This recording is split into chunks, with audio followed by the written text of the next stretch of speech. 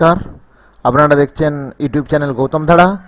আমার ইউটিউব চ্যানেলে সকলকে স্বাগত জানাই এবং আমার এই ক্লাস ইলেভেনের জন্য একাদশ শ্রেণির যে সমস্ত ভিডিওগুলো ছাড়া হচ্ছে। তার মধ্যে বিভিন্ন প্র্যাকটিক্যাল রয়েছে। তো আমি কার্টোগ্রামসের ওপর বিভিন্ন ভিডিও ছাড়- ছেড়েছি। তো আগের ভিডিওতে আমার সিম্পল বার ডায়াগ্রাম কীভাবে অঙ্কন করতে হয়, তার পদ্ধতি ক্যালকুলেশন আমি দেখিয়েছি। তো এবারে জানব যেটা, সেটা হচ্ছে যৌগিক স্তম্ভচিত্র বা কম্পাউন্ড বার গ্রাফ কী করে আঁকতে হয়। আর আমার ভিডিওটি যদি ভালো লেগে থাকে, অবশ্যই লাইক শেয়ার এবং কমেন্ট চাই এবং তার সঙ্গে সাবস্ক্রাইব করতে ভুলবে না। আমি চাই সকল ছাত্রছাত্রীদের মধ্যে এই ভিডিওগুলো ছড়িয়ে যাক এবং যাতে তাদের এই প্র্যাকটিক্যাল করতে, অর্থাৎ ইলেভেনে উঠে তাদের প্র্যাকটিক্যাল করতে কোনো অসুবিধা না হয়। তো তার জন্য আমি এই ভিডিও নিয়ে এসেছি। তো এবার আসি আমার যৌগিক স্তম্ভচিত্র অর্থাৎ কম্পাউন্ড বার গ্রাফ বা সাবডিভাইডেড বার ডায়াগ্রাম বলা হয়। যৌগিক স্তম্ভচিত্র মানে কি? না, যখন একটি উপাদান থাকবে, আমরা এই আগে সিম্পল বার গ্রাফের অনুযায়ী এরকম এরকম এঁকেছিলাম সরস্তম্ভ একটি স্তম্ভ এঁকেছিলাম, তাহলে একটি রাশি, একটি মানে সার উৎপাদন এখানে যেমন দেওয়া আছে, একটি তথ্যের উপর একটি স্তম্ভ দেখিয়েছিলাম, এখানে কি হয়, একই জাতীয় একই জাতীয় তথ্য, কিন্তু একাধিক তথ্য একই জাতীয় তথ্য একাধিক তথ্য যখন হচ্ছে কি করা হচ্ছে, দেখো, একটি উপাদানের মোট পরিমাণকে বিভিন্ন অংশে বিভক্ত করে যখন দেখানো হয়, তাহলে একই জাতীয় উপাদানগুলোকে, একই জাতীয় উপাদানের উপর ভিত্তি করে বিভিন্ন বিষয়গুলোকে যখন এক একটা স্তম্ভের মাধ্যমে দেখানো হয় মানে ব্যাপারটা আমি দেখাচ্ছি, আর এখানে ছবিটা দেখলে পরিষ্কার ক্লিয়ার হবে জিনিসটা, আমি দেখাচ্ছি একটু। এই যে এখানে যেমন দেখা যাচ্ছে, একই ধরনের মান, জনসংখ্যা। এর জনসংখ্যা এখানে আছে গ্রামীণ আর পৌর। তাহলে গ্রামীণ আর পৌর এখানটা দেখাচ্ছি, এদিকটা গ্রামীণ দেখাচ্ছি, এদিকটা গ্রামীণ, আর ওপরের দিকটা পৌর দেখাচ্ছি। তাহলে জন, দুটোই জনসংখ্যা, একই প্রকৃতির, কিন্তু দুটো ভিন্ন, গ্রামীণ আর পৌর। তাহলে কি একই প্রকৃতির বা একই প্রকৃতির হচ্ছে তথ্যের উপর ভিত্তি করে কিন্তু বিভিন্ন একই প্রকৃতির বিভিন্ন ধরনের তথ্যকে যখন এক একটি স্তম্ভের মাধ্যমে, একটি স্তম্ভের মধ্যে বিভক্ত করে দেখানো হয়। এক একটি স্তম্ভ অঙ্কন করা হয়, এক এক একটি উপাদানের উপর এক একটি স্তম্ভ উপাদান নির্ণয় করা হয় এবং তার মধ্যে ওই ভিন্ন উপাদানগুলোকে আলাদা আলাদা করে দেখানো হয়, বিভক্ত করে। অর্থাৎ মোটের উপর একটা স্তম্ভ অঙ্কন করা হয় এবং তাকে তার মধ্যে যে বিভিন্ন উপাদানগুলোকে ভাগ করে, বিভক্ত করে দেখানো থাকে। তাকে যৌগিক স্তম্ভচিত্র আবার বলছি, যৌগিক স্তম্ভচিত্র কাকে বলে? যখন একই প্রকৃতির বিভিন্ন ধরনের মানগুলোকে স্তম্ভে বিভক্ত করে দেখানো থাকে, ভাগ করে দেখানো হয়। একটা স্তম্ভের মধ্যেই ভাগ করে দেখানো হয়। যেমন এখানে মালদা, উত্তর দিনাজপুর প্রভৃতির জনসংখ্যা দেখাচ্ছি, কিন্তু আলাদা গ্রামীণ পৌর দুটো আলাদা আলাদা কালার দিয়ে দেখাচ্ছি, বিভক্ত করে দেখাচ্ছি। এগুলো হচ্ছে যোগ স্তম্ভচিত্র বলে। আচ্ছা তাহলে আমি এবারে চলে যাই। এবারে আমরা যে একদম আসল কাজে চলে যাই, আমি বেশি সময় নষ্ট করব না। যেহেতু আগের ভিডিওতে আমার হচ্ছে স্তম্ভচিত্র ছাড়া আছে, তো আমি একদম চলে যাব অঙ্কটাতে। অঙ্কে অঙ্কে চলে যাব, অঙ্কটা দেখব আমরা। এইখানে একটা অঙ্কটা রয়েছে, ভালো করে দেখো। এখানে আমি এই তথ্যের উপর আমি হচ্ছে ছবিটা করব। তো এখানে যদি আছে তোমরা ভালো করে ডাটাটা দেখো ডাটাটা যেটা রয়েছে, এই ডাটাটার উপর আমি কাজ করব। তো এখানে জনসংখ্যা, জেলার নামগুলো দেওয়া আছে, এক, দুই, তিন, চার, পাঁচ, ছটা জেলার নাম দেওয়া আছে, মালদা, উত্তর দিনাজপুর, দক্ষিণ দিনাজপুর, দার্জিলিং, কোচবিহার, জলপাইগুড়ি, আর জনসংখ্যা আছে, গ্রামীণ জনসংখ্যা দেওয়া আছে, পৌর জনসংখ্যা দেওয়া আছে। এই দুটো ডাটা দেওয়া আছে, মোটটা ধরো দেয়া নেই। এই মোটটা ধরো নেই, ফাঁকা। মোট করে হচ্ছে, বা দেয়া থাকতেও পারে, এক্ষেত্রে দেওয়া আছে, অনেক ক্ষেত্রে দেয়া নাও থাকতে পারে। তো তখন কি করতে হবে? তাহলে আমাকে এখান থেকে, এটা হচ্ছে সমস্যা রয়েছে। এখান থেকে আমাকে যৌগিক স্তম্ভচিত্র অঙ্কন করতে বলেছে। তাহলে আমি এখান থেকে চলে যাব ডাইরেক্ট একদম ক্যালকুলেশন টেবিলে দেখো, এখানে আমি দেখাচ্ছি calculation table calculation table for compound bar graph এখানে দেখিয়েছি, ওই যে জেলাগুলোর নাম লিখেছি, এই যে জেলাগুলো এই যে এখানে যে জেলাগুলোর নাম আমি লিখে দিয়েছি প্রথমে, দেখো, আর গ্রামীণ জনসংখ্যা, পৌর আর মোট, যদি মোট না থাকে, এখানে ভালো করে একটু বলি, যদি মোট না থাকে, তাহলে এই গ্রামীণের মালদা জেলায় যেমন গ্রামীণ আর পৌর যোগ করে এখানে মোট লিখতে হবে। এর মোটটা অবশ্যই বের করতে হবে এই যৌগিক স্তম্ভচিত্রের ক্ষেত্রে। তো আমি এখানে করলাম, তাহলে গ্রামীণ জনসংখ্যাগুলো লিখে দিয়েছি, পৌর জনসংখ্যা লিখে দিয়েছি, তাহলে যোগ না থাকলে যোগ করে লিখে মোট জনসংখ্যা করেছি। দেখতে পাচ্ছ? এরপরে আমরা কি করেছি? আমি দেখো calculation table for compound bar গ্রাফে এখানে নিচে দেখো উলম্ব স্কেল করে দিয়েছি। আমরা তো জনসংখ্যাটাকে উলম্ব স্কেলে দেখাবো। তাহলে উলম্ব স্কেল কত ধরেছি? ওয়ান সিমি টু উলম্ব স্কেল কীভাবে ধরবো না? এই মোটের মধ্যে সর্বোচ্চ মান কত আছে দেখে নেব। তাহলে মোটের মধ্যে বেশি মান আছে, দেখো উনচল্লিশ। এই যে প্রথম মানটা, তিন, উনচল্লিশ, ছিয়ানব্বই, সাতানব্বই, শূন্য, এই মানটা হচ্ছে সবচেয়ে বেশি। দেখলেই বুঝতে পারবে। তাহলে এই সর্বোচ্চ মানকে কত দিয়ে ভাগ করলে দশের কাছাকাছি হবে? মানে তাহলে সর্বোচ্চ মানটা যে আছে, একে আমি দশ দিয়ে ভাগ করব। তাহলে একে দশ দিয়ে ভাগ করলে দশমিক একটা সরিয়ে নিচ্ছি। তাহলে আমার মান কত হচ্ছে? উনচল্লিশ, ছিয়ানব্বই, সাতানব্বই। তাহলে এইটাই হচ্ছে তাহলে এত দশ দিয়ে ভাগ করলে যে ভাগফলটা হবে? সেটার কাছাকাছি, এটা এই যে উনচল্লিশ, ছিয়ানব্বই, সাতানব্বই মানটা আছে, আমি এটাকে নামি চল্লিশ ধরবো। প্রথমটা উনচল্লিশ আছে, এই মানটাকে চল্লিশ ধরে নেব। চল্লিশে করে নিয়ে পাঁচটা শূন্য করে দেবো। তা চল্লিশের পর এগুলোকে আমি শূন্য শূন্য মানে ইভেন ভ্যালু ধরতে হবে অড ভ্যালু ধরলে হবে না, এরকম মানে স্কেল আমি দশ দিয়ে ভাগ করে যেটা হলো সেটাই লিখে দেবো না। এটাকে আমি একটা অ্যাভারেজ ধরবো হয় তিরিশ তিনের ঘরে ধরবো, তিনের ঘরে ধরলে মান বেড়ে যাবে। এই মানে তিরিশ ধরলে এটা চল্লিশ ধরে নিলাম এ মানটা।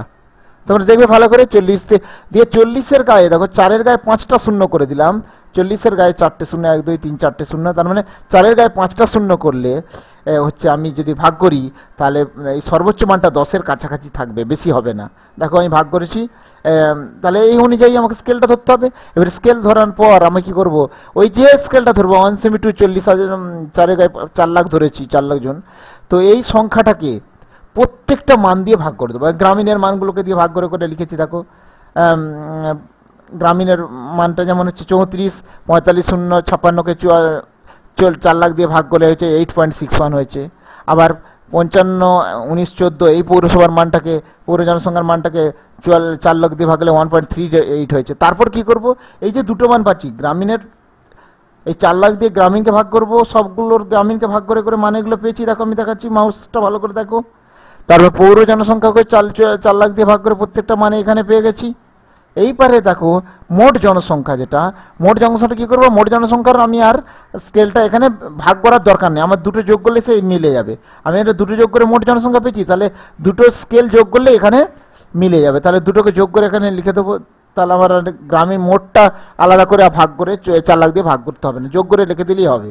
এইভাবে ক্যালকুলেশন টেবিল করতে হবে কম্পাউন্ড বার গ্রাফ ঠিক আছে? এরপর আমি চলে যাচ্ছি, আর বেশি সময় নেব না। তো এরপরে চলে যাচ্ছি আমি আঁকার পদ্ধতিতে চলে যাচ্ছি আমি একদম। তো আঁকার পদ্ধতিতে কি করব প্রথমে? আমি ফার্স্ট ফার্স্ট কাজটা আঁকার পদ্ধতি আমি দেখাচ্ছি, ভালো করে দেখে নাও। আঁকার পদ্ধতিতে প্রথমে আমি এই অনুভূমিভাবে একটা রেখা টানবো। অনুভূমিভাবে রেখা টানার পর কীভাবে গ্রাফ পেপারে অনুভূমিভাবে রেখা আছে ক সেমি রাখব। এইখানে আমার কত আছে? কটা বছর আছে? তাহলে এক, দুই সরি কটা ইয়ে আছে, জেলা আছে? এক, দুই ছটা জেলা। তাহলে ছটা জেলার আমার ছটা স্তম্ভ করব। এক একটা এই যে মোট করেছি, এক একটা জেলার জন্য এক একটা যদি বছর থাকে এক একটা বছর হবে। জেলা আছে, এক একটা বছরের উপর এক একটা স্তম্ভ আগে তৈরি করব।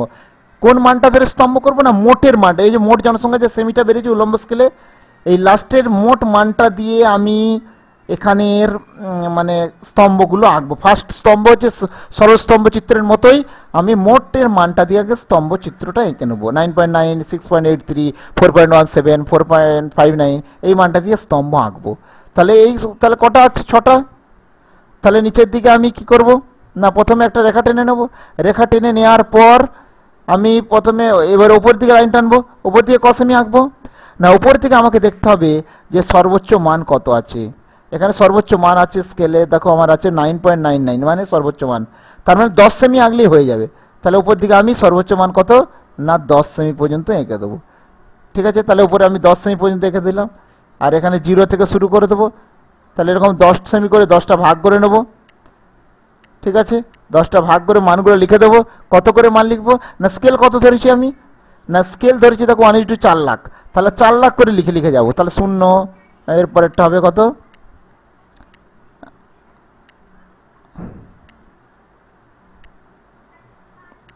চার লাখ পরেরটা কত হবে, আবার চারের সঙ্গে চার লাখের সঙ্গে আবার চার লাখ যোগ হবে আট লাখ হবে।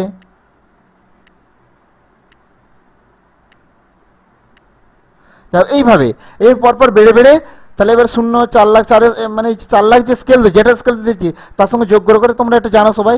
যোগ করে এখান পর্যন্ত লিখব আমরা, এখান পর্যন্ত মানটা লিখব। তারপরে কি করব আমরা? এইবার হচ্ছে আমি উলম্ব স্কেলটে আঁকবো অর্থাৎ স্তম্ভ চিত্র অঙ্কন করব। স্তম্ভ চিত্রের ক্ষেত্রে প্রথমে আমি মোট ধরে করব বলছি নাইন পয়েন্ট নাইন নাইন এই মানটা নেওয়ার জন্য, প্রথম মানটা নেওয়ার জন্য আমি কি করব? না, এখানে পয়েন্ট ফাইভ ছেড়ে দেবো। পয়েন্ট ফাইভ ছেড়ে দেবো। পয়েন্ট ফাইভ ছেড়ে দিয়ে এক সেমি নেব। এক সেমি নিয়ে নিলাম। নিয়ে আমার ওই নাইন পয়েন্ট নাইন নাইন নিয়ে নেব। সরি সোজা করে এক মিনিট এখানে দেখাচ্ছি। স্ট্রেট লাইন করে আমি এই এটা গ্রাফ পেপারে করছি নাইন পয়েন্ট নাইন নাইন নিয়ে নিলাম। আবার এই পয়েন্টেও নাইন নাইন নাইন পয়েন্ট নিয়ে নিলাম, দিয়ে মাথাটা যোগ করে দিলাম। হয়ে গেল একটা স্তম্ভ। আবার পরেরটা মোটটা কত আছে? পরেরটা হচ্ছে six point eight three Uttar Dinajpur. Six point eight three ওই একইভাবে আমাকে পয়েন্ট ফাইভ ছেড়ে দেবো। দিয়ে সিক্স পয়েন্ট এইট সরি আবার পরের পয়েন্টে গিয়ে এই সিক্স পয়েন্ট এইট থ্রি মান নেব। এই এক সেমি নিয়ে নেব। পয়েন্ট ফাইভ ছেড়ে এক সেমি নেব, দিয়ে one point six six point seven three নিয়ে নেব, এটা সিক্স পয়েন্ট থ্রি মাথাটা যোগ করে দেবো। আবার পয়েন্ট ফাইভ ছাড়বো, আবার এক সেমি নেব। এটার পরেরটা কত আছে? না ফোর পয়েন্ট ওয়ান সেভেন তাহলে ওই একইভাবে ফোর পয়েন্ট ওয়ান সেভেন নেব আমি স্কেল বসিয়ে নেব এটা, আর এই দিকটাও ওয়ান পয়েন্ট সেভেন নেব, দিয়ে মাথাটা যোগ করে দেবো। তাহলে এইভাবে প্রত্যেকটা স্তম্ভ আমাদের এরকমভাবে তৈরি করতে হবে পয়েন্ট ফাইভ গ্যাপ দিয়ে এক সেমিতে অন্তর অন্তর আমার এরকম স্তম্ভ আঁকতে হবে। আঁকার পর, দেখো এক, দুই, তিন, চার, পাঁচ, আরেকটা আমি স্তম্ভ এখানে দেখাচ্ছি। এটা এঁকে দেওয়ার পর লাস্টে যখন এখানে করব, আবার পয়েন্ট ফাইভ এখানে গ্যাপ দেবো। গ্যাপ দিয়ে এই দিকে কত সেমি এঁকেছি? দশ সেমি এঁকেছি। তাহলে এই দিকে আমি দশ সেমি একটা লাইন টেনে মাথাটা এরকম যোগ করে দেবো। ব্যাস, আর এইদিকে লিখে দেবো, এই সরি এখানে দেশ জেলাগুলোর নাম লিখে দেবো এখানে। জেলাগুলোর নাম নিচের দিকে লিখে দেবো। ঠিক আছে? এরকম তীর চিহ্ন দিয়ে লিখতে পারো বা একদম হেলিয়ে লিখে দিতে পারো, এইভাবে হেলিয়ে দিয়ে এদিকে ওপর নিচে হেলিয়ে এইভাবে মানগুলো লিখে দিতে পারো। দিয়ে জেলাগুলোর নাম লিখে দিয়ে এখানে দুদিক থেকে তীর চিহ্ন দিয়ে দেবো, দিয়ে লিখে দেবো জেলা। জেলা লিখে দেবো। তারপর এইদিকে আমরা কি দেখাচ্ছি? না, এইদিকে হচ্ছে জনসংখ্যা দেখাচ্ছি। তাহলে লিখে দেবো জনসংখ্যা। ব্যাস, হলো। তাহলে এইভাবে স্তম্ভগুলো করার পর, এরপরের কাজটা আমার দেখাচ্ছি মেন কাজটা। এই সরল স্তম্ভ চিত্র মোটের উপর দিয়ে হয়ে গেল। এরপরে হচ্ছে দেখো, আমি সবচেয়ে উপরে কি আছে? গ্রামীণ জনসংখ্যার মান আছে। তাহলে গ্রামীণ জনসংখ্যার মানগুলো এবারে নিয়ে আবার স্তম্ভের মধ্যে আমরা ভাগ করব। এই গ্রামীণ পৌরটা ভাগ করব স্তম্ভটার মধ্যে। তবেই তো বিভক্ত, এই স্তম্ভটার মধ্যে ভাগ করব। তাহলে প্রথমটা হচ্ছে ধরো মালদা জেলা। তাহলে মালদা জেলার মধ্যে এখানে কি হচ্ছে? গ্রামীণের মান, গ্রামীণের মানগুলো নেব পৌরর নেব না আমি একটা যে কোনো মান নিলে হবে। গ্রামীণের মধ্যে এইট পয়েন্ট সিক্স ওয়ান তাহলে এইট পয়েন্ট সিক্স ওয়ান আমি নেব। এখান থেকে, এই নিচে থেকে এইট পয়েন্ট এই স্তম্ভের মধ্যেই এইট পয়েন্ট সিক্স ওয়ানের পয়েন্টটা নিয়ে নেব। এই দুদিকের পয়েন্টটা নিয়ে এইট পয়েন্ট সিক্স ওয়ানের পয়েন্টটা নিয়ে নেব। নিয়ে যোগ করে দেবো। তাহলে এইট পয়েন্ট সিক্স ওয়ান হয়ে গেল। তাহলে দিয়ে এইটাকে একটা কালার দিয়ে দেবো। ঠিক আছে? এটাকে একটা কালার দিয়ে দেবো। আমি একটা দেখাচ্ছি যেন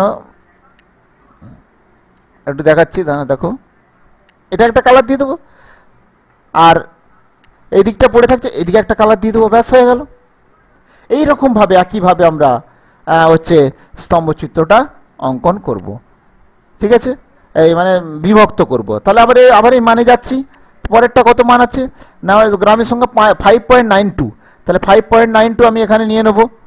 পয়েন্ট নিয়ে নেব ফাইভ পয়েন্ট নাইন টু এখানেও ফাইভ পয়েন্ট নাইন টু নিয়ে নিলাম। ঠিক আছে? ফাইভ পয়েন্ট নাইন টু নেওয়ার পর এই মাথাটা যোগ করে দিলাম, হয়ে গেল। এরপর যোগ করার পর কি করব? আমি আবার সেই কালার দিয়ে দেবো কালার করে নেব, ঠিক আছে? এইটাকে আমার যেহেতু একই কালার করব, উপর দিকটা কি করছি? সরি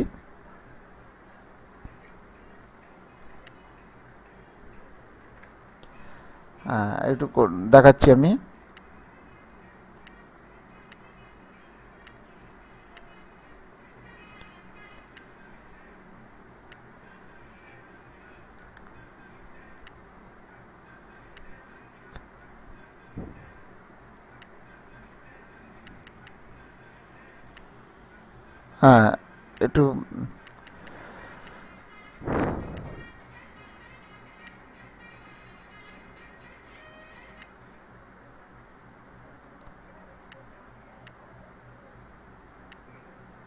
যাই হোক এরকম ভাগ করে নিলাম, ধরো দেখো, দিয়ে এটাকে ধরো কালার দিয়ে দিলাম। ওই একইভাবে আমি কালার ইউজ করলাম।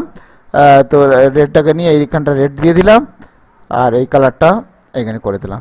এইভাবে প্রত্যেকটা স্তম্ভের মধ্যে এরকম কালার করে আমাদেরকে নিচের দিকটা গ্রামীণ জনসংখ্যা যেটা সেটা একই ধরনের কালার হবে, পৌর দিকটা একই কালার হবে।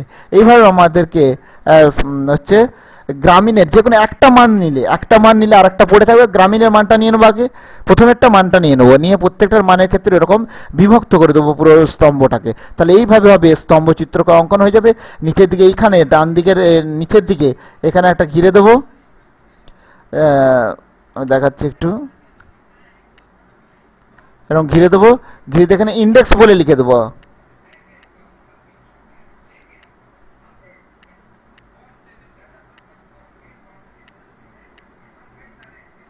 ইন্ডেক্স করব।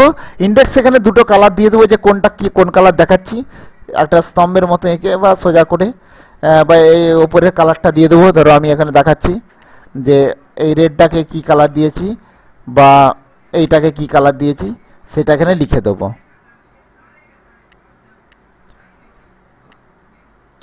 সেটা এখানে লিখে দেবো, এখানে লিখে দেবো। এটা হচ্ছে গ্রামীণ জনসংখ্যা, এটা পৌর জনসংখ্যা। ইন্ডেক্স আর এখানটা দিয়ে স্কেল ঘিরে দেবো। পুরোটাকে পুরোটাকে ঘিরে দেবো। পুরোটাকে ঘিরে দেওয়া হবে, একদম। ঠিক আছে, আমি একটু দেখাচ্ছি, খারাপ করেই দেখাচ্ছি, এটা পরিষ্কার করে তোমরা নেবে। ওপরে হেডিং লিখে দেবে, যে যৌগিক স্তম্ভচিত্র, এটা আমি একটা ভিডিও দেখাচ্ছি মানে ছবি। আর এইখানে নিচের দিকে, এইখানটা দিয়ে স্কেলটা কত ধরেছে, উলম্ব স্কেল ঠিক আছে? উলম্ব স্কেল কত, সেটা লিখে দিতে হবে। এইভাবে আমরা যৌগিক স্তম্ভচিত্র অঙ্কন করব। আশা করি ভিডিওটি ভালো লাগে থাকলে অবশ্যই লাইক শেয়ার করবে এবং তোমাদের আর ছবি আমি একটু দেখাচ্ছি। যে, এবং সাবস্ক্রাইব করতে ভুলবে না। এখানে দেখাচ্ছি, ধরো এই, এইখানে একটা ছবি রয়েছে এই ডাটা দেখো, এখানে নিচের দিকে বছর লিখে দিয়েছে, এই জেলাগুলো দিয়েছে, গ্রামীণ পৌরসভা। আমি আমি যেভাবে ইন্ডেক্স দেখিয়েছি, ওইভাবে ইন্ডেক্স করবে। এই নিচের দিকটাকে, এইখানটা দিয়ে হচ্ছে তোমরা কি লিখবে? এখানটা উলম্ব স্কেলটা লিখবে। জনসংখ্যা যেমন দেখিয়েছে, এইভাবে একই কালার করে ওপর দিকটা এক ধরনের কালার গ্রামীণ, আর লিখে লিখেই দেবে যৌগিক স্তম্ভচিত্র গ্রামীণ পৌর জনসংখ্যা। এইভাবে যৌগিক স্তম্ভচিত্র অঙ্কন করতে হয়। আর এখানে দুটো ডাটা ছিল, যদি তিনটে ডাটা থাকতো, এখানে দেখো, এক, দুই, তিন, চারটে ডাটা আছে। তাহলে ওই একইভাবে চারটে ডাটার, চারটে ডাটা থাকলে কি হতো? ধরো, গ্রামীণ পৌর আরও চারটে রয়েছে, তা আরও দুটো রয়েছে, তাহলে কি করতে?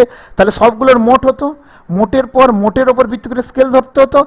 যে স্কেলটা ধরতে হতো, সেইটাকে দিয়েই সবগুলোকে ভাগ করে করে লিখতে হতো। লেখার পর মোটের যে মান, মোটের যে সেমিটা বেরোবে, সেটা দিয়ে প্রথম স্তম্ভটা হতো। মোট দিয়ে প্রথম সবচেয়ে স্তম্ভটা হতো। এবং তারপর এক- একটার পর একটা হতো।